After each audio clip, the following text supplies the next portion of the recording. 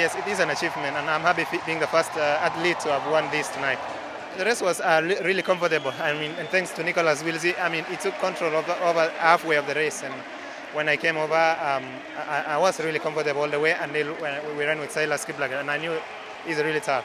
Well and good, it motivates me ahead of Olympic Games. Um, I'm going to, to defend my title. Okay, thank you very much.